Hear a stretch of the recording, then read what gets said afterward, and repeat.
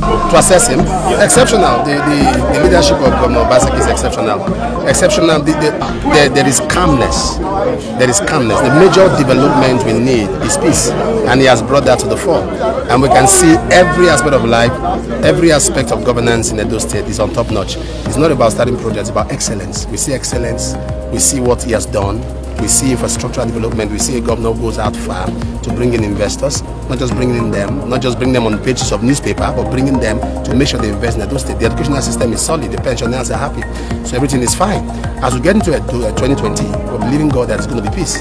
He has done well. He deserves to come back, and he will come back. So we believe God to help us. God bless you.